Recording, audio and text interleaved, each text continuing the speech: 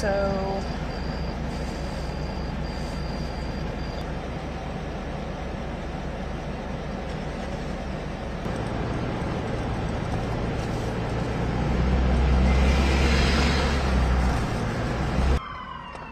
Okay, let's let's look at these power lines right here. Hmm. It's like a war zone. Are they done? Help me look that way. uh, yeah, you're fine this way. Good night. That's a lot.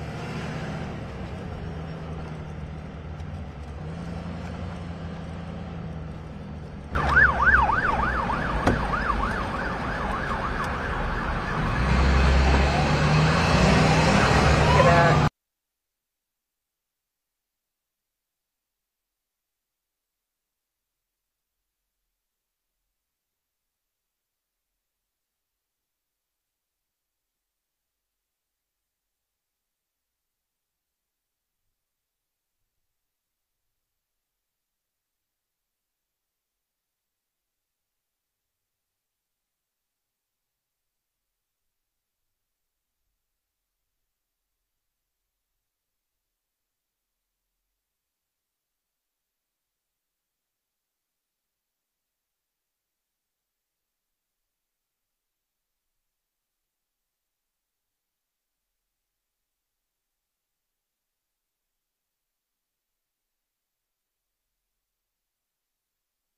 I'm Amy Freeze. Welcome to Fox Weather's YouTube page. We have more great videos on the way, so make sure to subscribe to stay updated on all things weather.